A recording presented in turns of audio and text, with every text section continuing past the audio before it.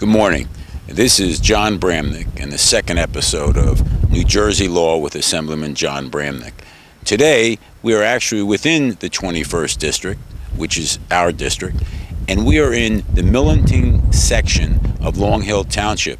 We're at a place, a very special place, called the Raptor Trust. And we're going to find the mayor of Millington, and then we're going to have an opportunity to walk around the Raptor Trust and meet the creator of the Raptor Trust, Dr. Len Soucy. Then we'll discuss some environmental issues that are affecting the state of New Jersey and our region. So I think uh, today we have a very exciting show. You'll meet not only people, but a lot of birds. Thank you.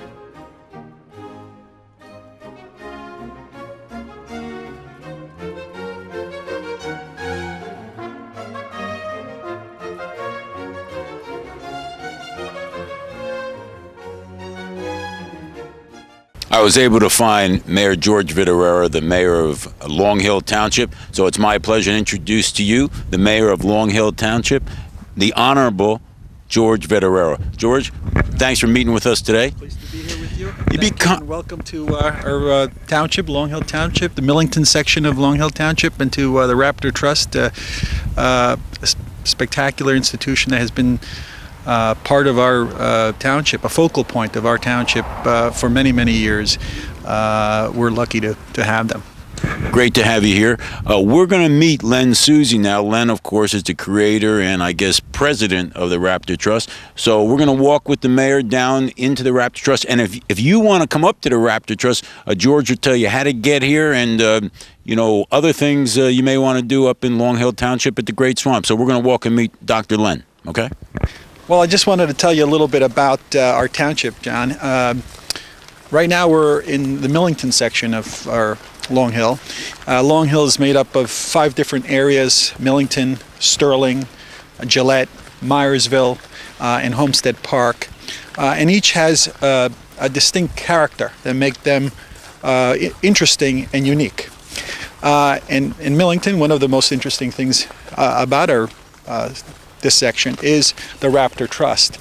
Uh, I mean, I've been bringing my kids here uh, as as all of our families have, and many people from the surrounding townships uh, because it's a great institution. Um, you know, And this is private, correct? This is not uh, a state or county park, That's correct? right. That's right. It's it's funded through um, uh, the help, the support from the citizens, and uh, I, I urge people to come down here uh, and see because it's a it's a beautiful uh, setting, you know, and it's a wonderful cause, um, you know, protecting and and caring for the wild birds. Um, I think nationwide, you know, a lot of uh, other places send birds for re- rehabilitation to this institution. So uh, it's a, a beautiful uh, thing that they do uh, and service that they provide.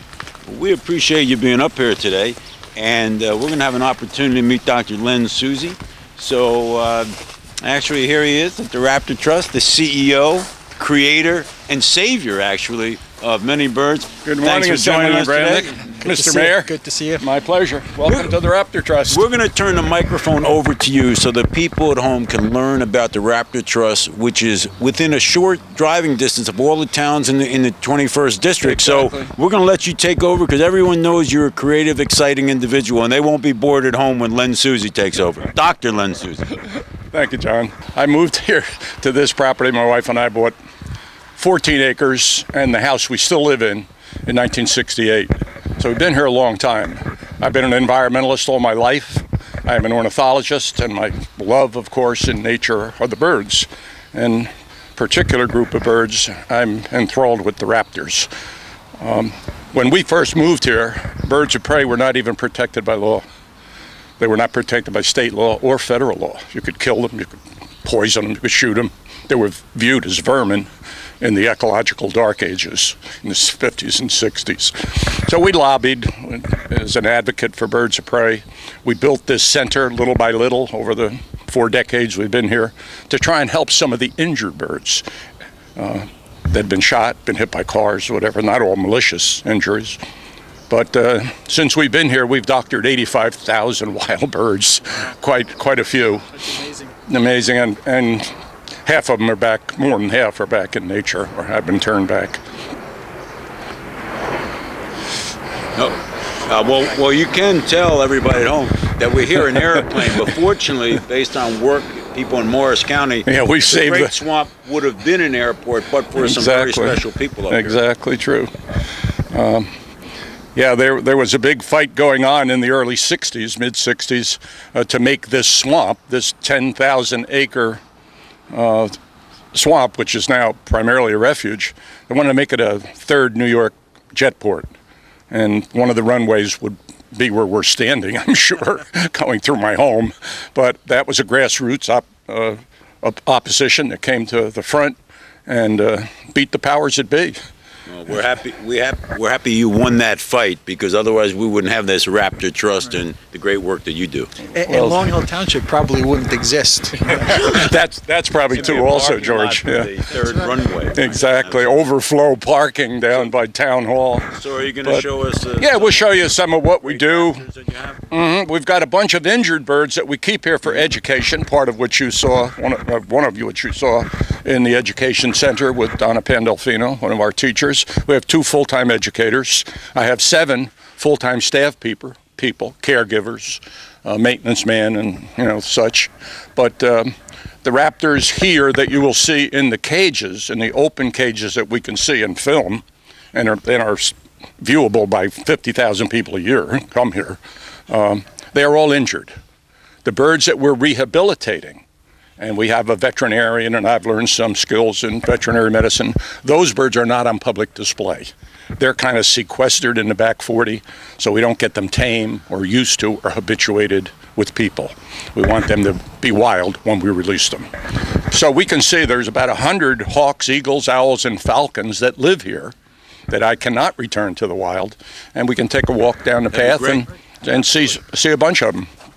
So what are we going to take a look at first? Well, let's see. There are several birds. Some of them not so terribly visible because they're owls and they're primarily nocturnal. Well, actually, we can see there's a short-eared owl sitting there.